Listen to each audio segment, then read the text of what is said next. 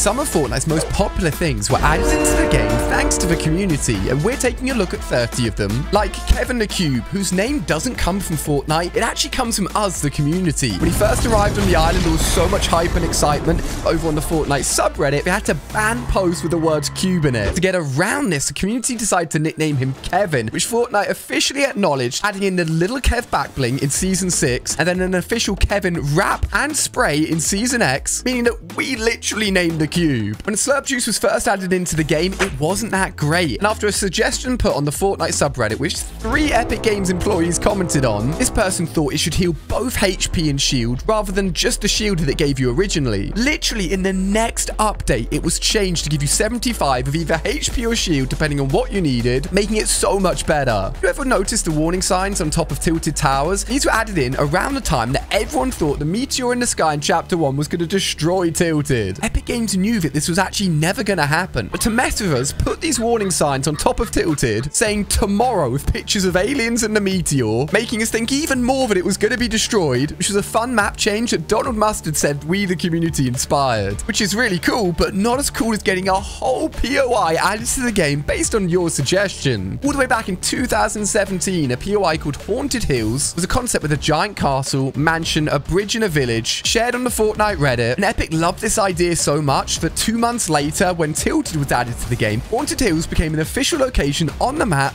And later on in Fortnitemares, they even added the castle as well. One of the most wholesome additions to the game comes in the form of this skin, which started its life originally by someone's son who was 8 years old, posting on Reddit saying they really want a chicken skin in the game. After it got over 40,000 upvotes, someone else in the community took this idea, made a more detailed design, which also went viral. Fortnite purchased the idea of this skin to turn it into something that would actually go into the game, making it one of the first community skins ever in the game. Back in the day, a lot of the Fortnite menus were a little clunky, and the emote wheel wasn't great until someone suggested this new design that Epic Games loved so much, they copied it pretty much one to one, added it in at the start of Chapter 2, it's now the emote wheel that we know and love and use to this day. Imagine being able to pick and choose an LTM that would return to the game. This was the original idea put forward on Reddit that got over 14,000 upvotes, which Epic Games used as inspiration to create the community choice option that ended up in the item shop. This feature allowed you to vote on a skin that, if won, would come back to the item shop. And as cool as the idea was, it was actually scrapped quite quickly after it launched and hasn't returned since. Now, if you've been playing Fortnite for a while, you probably remember this viral Muselk clip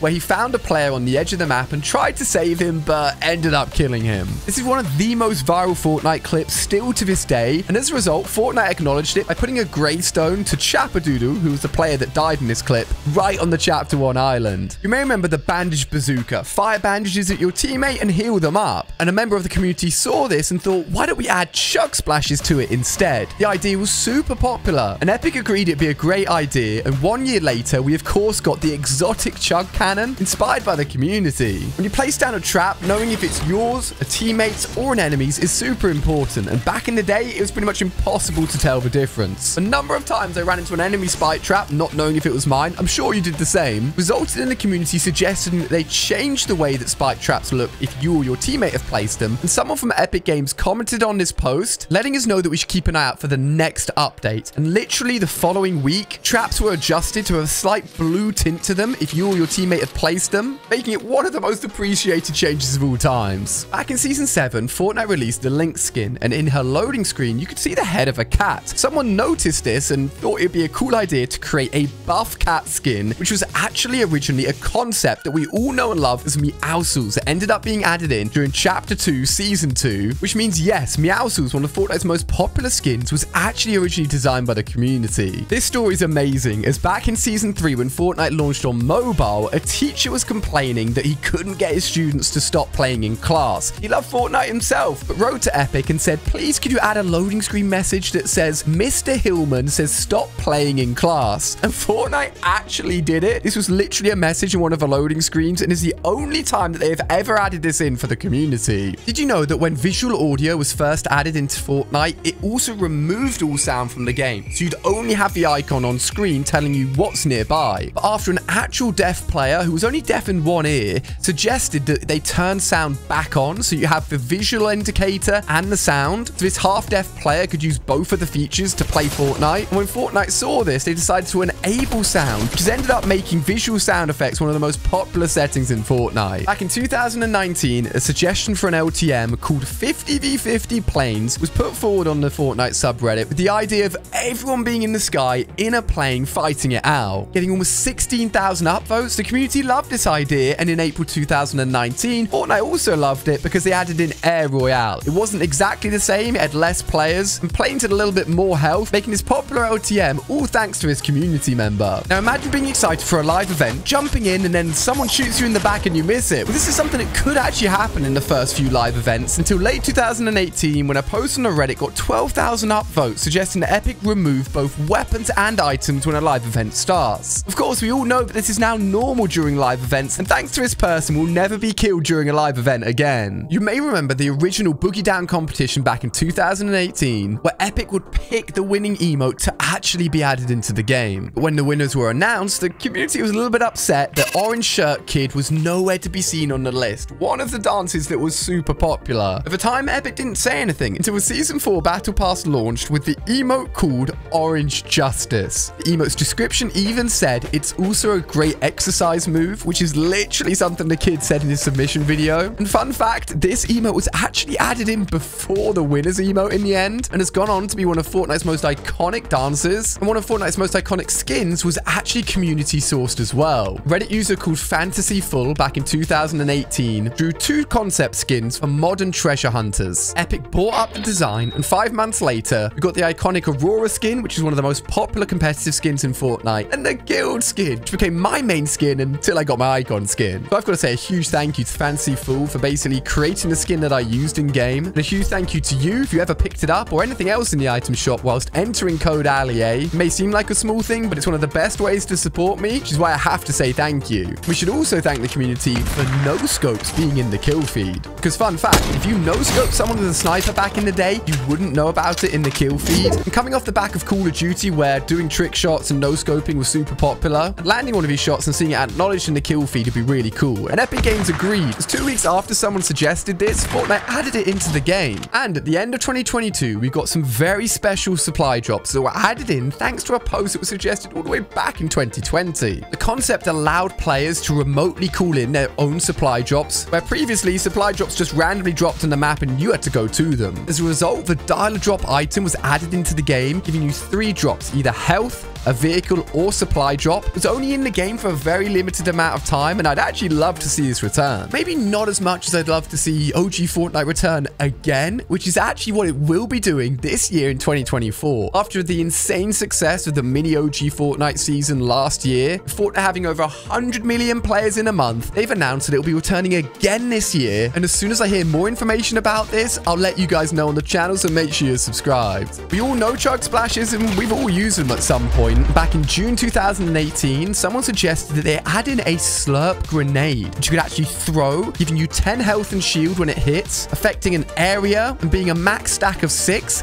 which weirdly enough is almost identical to how Chug Splashes ended up being when they were finally added into the game in Season 9, one year after this post. The only difference is it actually ended up healing 20 HP or shield. It's crazy to think that something we've used so much in-game suggested by the community. And in fact, the same community member that suggested that spike traps be different colors depending on who placed them, also suggested that exclusive Save the World pickaxes, if unlocked by the player, would also carry across to Battle Royale. That's exactly what Epic Games did one year later, allowing seven Save the World pickaxes to be used across the modes. Now, the original 50v50 mode was actually very different to what it ended up being in its second iteration, and almost all of the changes that were made for V2 were actually made by the community. The V2 concept that was shared showed two battle buses flying onto the map with a reworked storm circle that stayed in the center and came in far quicker, meaning people were all fighting together in a closer area. Epic loved it so much they added all of that in and even called the mode 50v50 V2 after the original concept name. Now, we all know that people like to mess with things in Fortnite and try and break them, which is exactly what happened to the Foundation statue, an indestructible part of a Chapter 3 island. Players managed to find a way around this by using tires to literally topple the statue. Epic Games ended up fixing this glitch, but as a shout out to everyone that did it,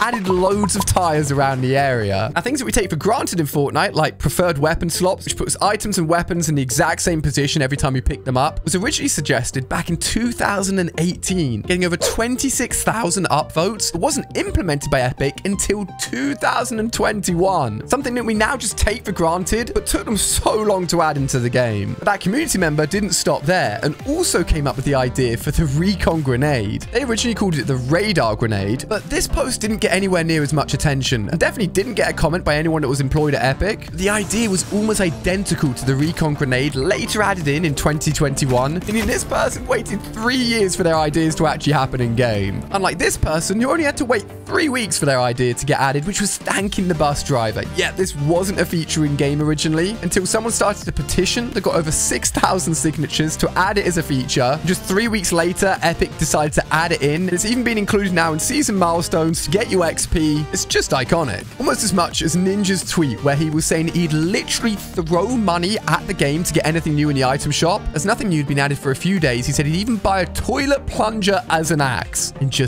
eight days later, in the item shop appeared exactly that. The plunger pickaxe, literally as a result of Ninja's tweet, and is one of the earliest and quickest known community ideas ever added into the game. Now, a lot of his ideas were added in years ago, but the newest part of this season, the train, was actually a suggestion all the way back in 2018 on the original Chapter 1 map, where the train would travel around the island in a circle, creating a new way to get around with chests on the train to open up as well. Got over 25,000 upvotes and took almost six years to get into the game, but I'm so glad it finally did. And I'm also so glad that there's ranked rewards in the game, which initially weren't there. The community member suggested that we should get specific backblings and cosmetics that reflected the rank that we'd reached in the competitive season, which back then was just called Arena. Got a ton of upvotes and a load of attention. And this guy's to thank for all the free competitive rewards we now get in game. But did you know that Peely was removed from Fortnite, including a load of other stuff that had to be taken out? Click here to find out more in this super interesting video I know you enjoy, so I'll see you over there.